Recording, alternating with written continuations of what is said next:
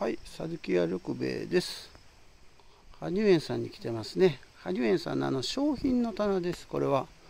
まあ、ここは本来は素材屋さんなんですけどね。ね結構こう大きくなったものを鉢上げされてますけど、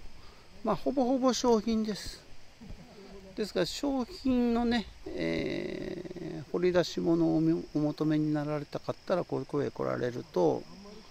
まあもともと素材屋さんですからね、お値段もそんなに高いことはないんですよ。ただね、あの1品ずつ値段がついてるわけじゃないんで、えー、ある程度、えー、園主の方が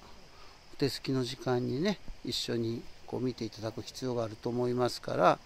まあ、事前にご予約されてからねお電話していただいてから来るのがいいと思いますけどね。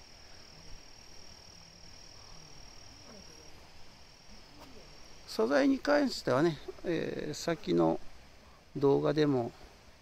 ご案内しましたけどカタログがありますんでね是非カタログを請求されて、えー、カタログで申し込まれるとねわざわざこの四国の